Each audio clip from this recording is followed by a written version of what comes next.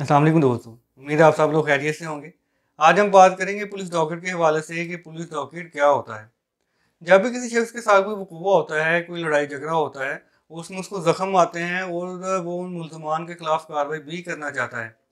तो उसका जो सबसे पहले करने वाला काम वो ये होता है कि उसने थाने में जाना है, जो मुतलका थाना होगा जहाँ पर लड़ाई हुई है, उससे मुतलका जो थाना होगा, वहाँ जाके अपने वकूबे के बारे में आगाह करेगा पुलिस वालों को और कहेगा जी, मेरा जो मेडिकल है वो करवाया जाए मुझे, क्योंकि ज़ख्म आए हैं तो मेरा मेडिकल करवाया जाए।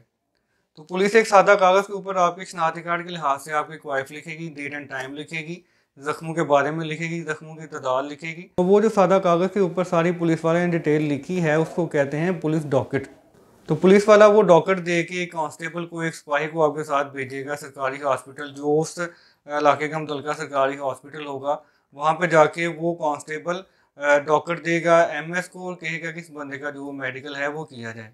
और अगर किसी फीमेल के साथ कोई वकूआ हुआ है, उसको जख्म आए हैं तो उसके साथ फीमेल कॉन्स्टेबल को भेजा जाएगा फीमेल सिपाही को भेजा जाएगा कि वो जाके उस फीमेल का, उस लड़की का या उस औरत का मेडिकल करवाए। याद रहे कि सरकारी हॉस्पिटल वाले पुलिस डॉक्टर के बगैर आपका मेडिकल नहीं करेंगे। आपका मेडिकल करवाने के लिए ज़रूरी है कि आपके पास पुलिस का डॉक्टर लाजमी हो। और यहाँ पे एक मसला ये आता है कि पुलिस वाले आपको डॉक्टर इशू नहीं कर रहे तो आपके पास क्या तरीका कार है जिसके ज़रिए से आप अपना मेडिकल करवा सकते हैं? तो उसके लिए फिर आपको यही करना पड़ेगा कि आप किसी वकील साहब से रबता करके तो उस इलाके का जो मुतलका मजिस्ट्रेट साहब होंगे, वहाँ पे आप दरख्वास्त देंगे। तो दरख्वास्त में आप लिखेंगे, मेरे साथ ये वकूआ हुआ था और मेरा मेडिकल करवाना ज़रूरी है, लेकिन पुलिस वाले मुझे डॉक्टर इशू नहीं कर रहे। तो जो मजिस्ट्रेट साहब होंगे वो आपकी दरख्वास्त को एक्सेप्ट करते हुए आपकी जो एप्लीकेशन है उस पर एम को डायरेक्शन फरमा देंगे कि इस बंदे का मेडिकल किया जाए। तो आप वो ऑर्डर लेके मुतलका जो हॉस्पिटल के एम एस साहब के पास जाएँगे तो एम एस आपका मेडिकल कर लेगा। याद रहे कि जो आपका मेडिकल है वो एफ़ आई आर का बहुत ही लाजमी जुज्व होता है। इसको कतन तौर पर डिले नहीं करना चाहिए, किसी भी सूरत में इसको डिले नहीं करना चाहिए।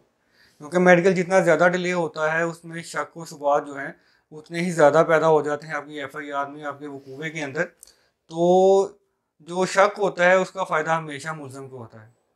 तो मुलम के बरी होने के चांसेस बन जाते हैं, इसलिए कोशिश करनी चाहिए कि मेडिकल जितनी जल्दी हो सके उतनी जल्दी करवाया जाए।